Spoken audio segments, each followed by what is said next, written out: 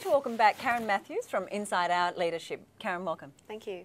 More and more, we're seeing organisations put in place programs to empower the women in their workforce. Mm -hmm. What works about those programs, and what are the big mistakes you're seeing organisations make? Yeah, I, firstly, I think the programs themselves um, are, are, fantastic initiatives. However, they're only fantastic initiatives if there's a number of, of things in, in place. I think, firstly, they need to be done for the right reason. I think if they are being done because it's the fashionable thing to do, then I think they're fraught with danger. I think if they're being done to tick off a quota or a percentage or, or somebody's KPIs, I, think that's also dangerous.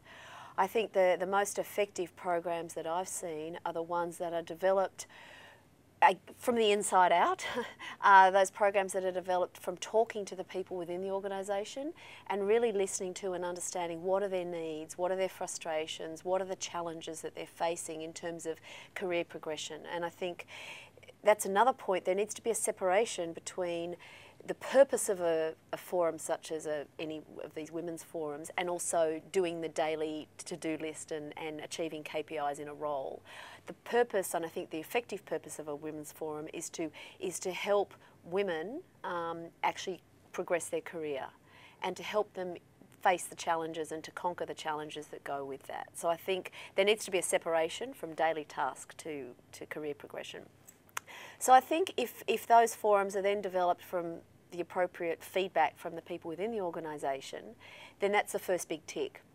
I think then they need to be structured in a way that's right for that organisation. So going and doing your research and plucking some, the ABN forum or, or, or Westpac's forum or a zillion of other forums, plucking their format and just trying to slap it into an organisation is not the answer. It needs to be structured. That means the meetings, the mentoring, the the uh, the the events, whatever it happens to be, the speakers that they have into those things. It all needs to be tailor made to fit the organisation and the people who it's targeted at. It needs to be very personal as personal as it can be in a, in a business. And I think it then needs uh, follow through. I think the biggest risk of, of these forums is they're introduced because it's the thing to do.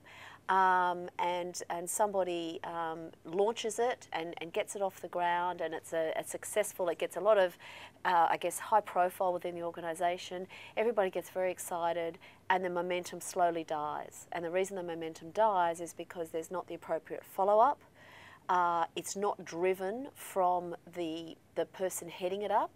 Everybody gets busy and they have other things to do, and suddenly it's not so sexy, and it's like, oh, you know, it, it just becomes a drag. And also, the people within the forum aren't using it the way it needs to be. So, there's a big accountability on the members of the forum to actually use it. Mm. So, I, and I think that's the other thing. The members need to be doing it because they're going to be proactive about using it. Again, it's, it's just as much the responsibility of the members as it is um, about for the people who are actually running it.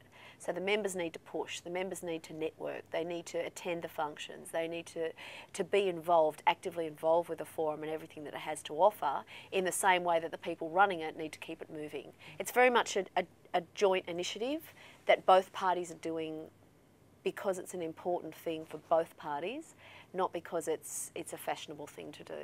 So what we're saying is if you have the opportunity to be part of a program within your organisation, participate, otherwise it may just disappear. Yep. And if you're the person responsible for running it, then follow through, know who your audience is yep. and tailor it. What about um, And the, the other thing is if you're not if you don't want to be that person running it, don't. I was going to say, yeah. quite yeah. often it'll fall on one person to be mm. the champion. Mm. What is the pitfall of that? Well, the pitfall of that is that person has a job that person has a role, that person has KPIs and performance objectives and performance reviews and all the things that go with everyday life. So it needs to be, uh, that person needs to be able to do it and balance the rest of their, of their role. One of the questions that I've had from large corporations about looking at putting mentoring programs in place is, but we don't have that many role models, and, but we have a lot of women in the junior roles. Mm.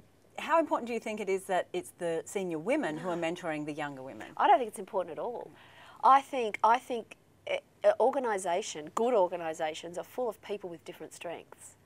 So there's nothing wrong with one junior mentoring another junior in an area that she's strong in. Um, and I, th- I think the key with mentoring is mentors need to know how to mentor and mentees need to know how to be mentored because it's the same as a larger forum. It's a responsibility of both parties to, to, to make it successful. Um, also i don't think there's anything wrong with men actually mentoring women. Um, again, if they've got to really believe in it, they can't be doing it to look like, you know, a sensitive new age man. They need to be doing it for the right reasons. Um, so I, I, don't think there are any rules in this. And, and I think if mentoring and forums are done for the right reasons, then there shouldn't be any rules. Because it's all, it's personal. Leadership is personal. Career progression is personal. And a, and a corporate environment, you know, in, is personal there's still personal aspects of any in, in business environment.